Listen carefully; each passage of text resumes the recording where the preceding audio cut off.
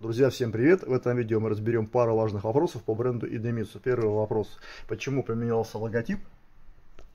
Это было раньше, это сейчас. Второй вопрос. Куда с упаковок ушли допуски ILSAC GF5? Раньше было IPI-SN ILSAC GF5. Сейчас просто IPI-SN без ILSAC. Поехали! Смена логотипа произошла уже очень давно, еще в 2019 году. Связано это было с тем, что Эдемицу Касан в Японии решает унифицировать все свои АЗС, у них по Японии 6400. Они купили Showa Shell структуру, которая были тоже свои станции АЗС, маркированы, брендированные шеллом, естественно. Поэтому они решают унифицировать, делают общий знак Apollo Station.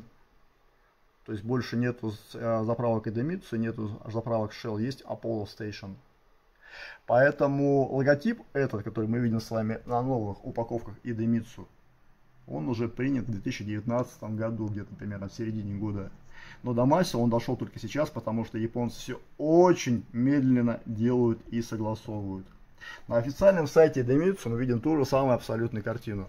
Знак корпоративный у них один, видите, вот вверху. Сейчас показываю мышкой на него. А на упаковках, которые на официальном сайте Демитсу сейчас расположены, еще старый знак висит на металлической таре. Хотя он тоже, конечно же, будет уже изменен в ближайшее время. Поэтому это абсолютно нормальное явление. По логотипу разобрались. Причем это еще не конечный вариант логотипа. Он еще будет видоизменяться, возможно, чуть-чуть. Сейчас они над этим работают. Но это опять же, наверное, вопрос там следующих пару лет. С логотипом разобрались. То есть все новые продукты, они будут идти уже с новым логотипом постепенно, вытесняя старые помаленьку. Это касается тоже и металлической тары.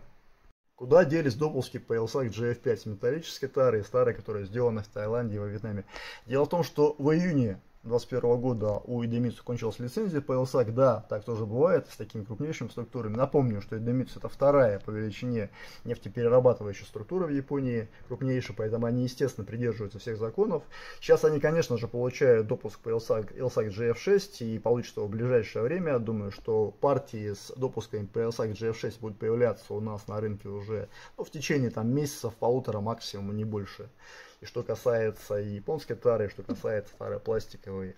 У меня есть письмо официальное, которое подтверждает то, что я вам сейчас говорил от Эдемитсу. Соответственно, здесь они объясняют то, что переход на LSAC GF6 состоится в ближайшее время. Поэтому пугаться этого не стоит, это абсолютно нормальное явление, это показатель того, что компания придерживается всех законов японских и мировых.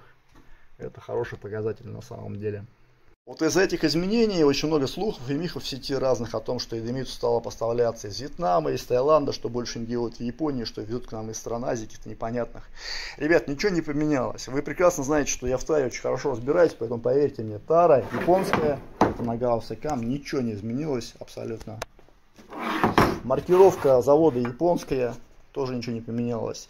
Тайцы, вьетнамцы вообще по-другому маркируют свою продукцию. Никто специально подделывать это не будет. Поэтому маркировка чисто японская, ничего не изменилось. Мы чуть попозже с вами на склад еще сходим, я вам покажу там по коробке еще там нюанс, пара нюансов есть, которые подтверждают, что тара именно из Японии привезена. Что касается продуктов Эдемитсу японских и экспортных, в Японии Эдемитсу продается в крупной таре упаковке. Мелкой таре 4-литровой Эдемитсу в Японии не продается. Только через интернет его можно купить, хотя она на сайте представлена, но тем не менее в рознице Эдемитсу в Японии нет. Да, даже на фирменных брендированных АЗС. Там все продукты, все масла продаются с помощью раздатчиков из крупных емкостей. Поэтому мелкая тара, она идет только на экспорт. Это абсолютно нормальное явление, так как в Японии как бы и Демицу это, собственно говоря, не нужно. То, что продукт экспорта, не говорит о том, что он привезен не из Японии. Локализация. Банк локализируется на стадии печати принта. Это тоже абсолютно нормально, так как это экспортный вариант. Это касается многих японских упаковок, таких что Castle, например, или там Автобакс, или какие-то продукты, которые идут экспортные, они тоже зачастую локализуются на стадии производства. У японцев есть свои нюансы маркировки тар, в том числе и картонных коробок. Если мы перевернем любую картонную коробку, которая сделана в Японии, то увидим с вами дату производства самой картонной коробки. В данном случае это 21 год, пятый месяц, 26 число. Японцы маркируют все, без исключения. Если мы посмотрим на коробку Эдемицу, которая сделана в Таиланде, то она будет маркирована у нас на боковой части упаковки. А на нижней части упаковки у нас никаких маркировок не будет. Это касается любой тары из Таиланда. А все, что сделано в Японии, любая упаковка абсолютно, например, Honda Ultra Green. Переворачиваем. Видим с вами маркировку ту же самую, абсолютно. 19 год, 6 месяц, 21 число. Honda Ultra Next. То же самое. 19 год, 6 месяц, 25 число. Что еще с вами посмотреть? Давайте еще какую-нибудь коробочку найдем. Гасл, коробку, например. Посмотрим. Здесь тоже стоит маркировка обязательно на ее части упаковки. Вся японская тара маркируется картонной обязательном порядке, без вариантов. И ставится маркировка на нижней части коробки. Мне часто задают вопрос, насколько велика может быть погрешность в весе между одинаковыми продуктами, но из разных партий. Вы все прекрасно знаете, что у нас есть второй канал, на который мы завешиваем все продукты. Я уже перевесил их там больше тысячи штук разных продуктов. Поэтому могу с уверенностью сказать, что одинаковые продукты, но из разных партий могут иметь погрешность в весе в среднем 10, 15, 20 грамм. В редких исключительных случаях, что касается мобила и разных стран производства, допустима погрешность до 30-40 грамм. Но что касается продуктов таких среднестатистических, то разница получается максимум там, ну, 10, там, 15 грамм примерно, плюс-минус. Давайте проведем эксперимент. Завешиваем эти продукты. Сначала тайский 3633. 3621. Разница получается, сколько там, 12 грамм получается разница.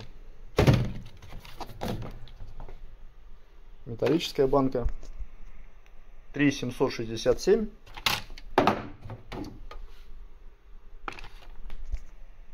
Три семьсот восемьдесят три. Что получается? шестьдесят семь, три, шестнадцать грамм примерно. Поэтому это вполне нормальная, абсолютно допустимая погрешность. Там 15-20 грамм плюс-минус. Это вполне нормально для этих продуктов. Итого, все, что происходит с Эдемицу вполне объяснимо, все изменения это только идет на пользу покупателям, поэтому можете смело покупать этот продукт. Что касается подделок, подделок по Эдемицу огромное количество на рынке, особенно что касается 5W30, 0W20, там DL и так далее. Вот у нас тоже есть, в частности здесь поддельный Эдемицу стоит я делал несколько видео, которые посвящены японской таре. Все они актуальны для любого японского продукта. Поэтому можете посмотреть любое видео по металлической таре японской. Там я рассказываю об отличиях оригинальной японской упаковки. Они для всех абсолютно брендов одинаковы для японских, без исключения. Есть также видео у меня отдельно по Idemitsu. Там я сравниваю оригинал с подделкой. Именно конкретно 5, 5W30. Но, правда, достаточно старенькое видео уже. Поэтому можете ориентироваться по любому мое видео, которое касается японской продукции. Не попадайте на подделку, покупайте оригинальные продукты, покупайте в проверенных местах. И все будет хорошо. С вами был Антон Воронков. Надеюсь, это видео стало для вас интересным и полезным. Подписывайтесь, ставьте лайки, жмите колокольчики. Всем пока.